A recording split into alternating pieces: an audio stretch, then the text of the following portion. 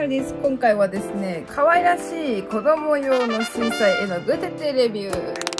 今回はね、ネットで見つけました、このギターっていう固形絵の具で、まあ別にね、全然大人の方でも、そんな絵の具に年齢制限とかないので、実際に使ってみてね、感想とかを話していこうと思います。で、お値段が8色入ってて680円ですね。中がこういう感じで説明書っていうか、色の名前と、実際にね、固形絵の具と筆も入ってました。ま、色はね、かなり原色寄りの8色ですね。なので、まずは試し塗りからしていきます。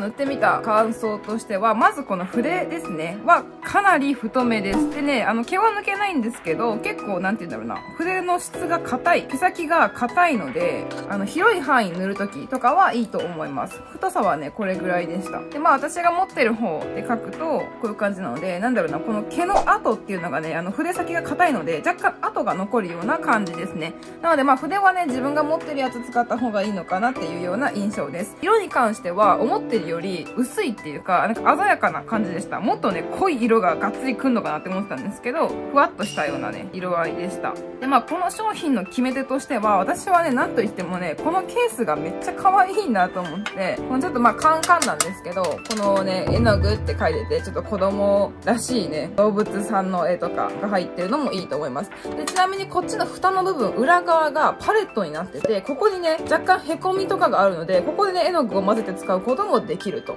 で、あとね、レビュー読んでてめっちゃええな、それって思ったのが、これ取れるんですよ。ここがこうやってね、簡単に取れるようになってて、こう一個一個のね、固形水彩が、サイズが紙なんですよ。ほら。ちょうどぴったり入る感じ。で、蓋閉めても全然問題ないので、自分で持ってる固形水彩を入れるケースとして使ってるっていう人もいて、ここにね、こうぎっしり詰めていくと、確かにね、可愛らしいかもしれん。で、あの、缶なので、このマグネットとかで止まるんですよ。なので、この後ろにマグネット貼ったりとかして、ここをね、こう、マグネット1個ずつ貼って、こう、ペタペタね、綺麗に収納してるっていうのも意見もあって、ああ、それはいいなと思ってね。だから、まあ、このね、缶自体もも使いやすいと。可愛い入れ物がね、欲しいっていう人でも、ちょっと水彩安めで始めたいっていう人でも、めっちゃいいんじゃないかなっていうふうに思いました。はい。という感じで、まあ、あとね、ここの右側に書いてあるうさちゃんを塗って終わろうと思います。よかったら、完成形まで付き合ってください。じゃあ、GO!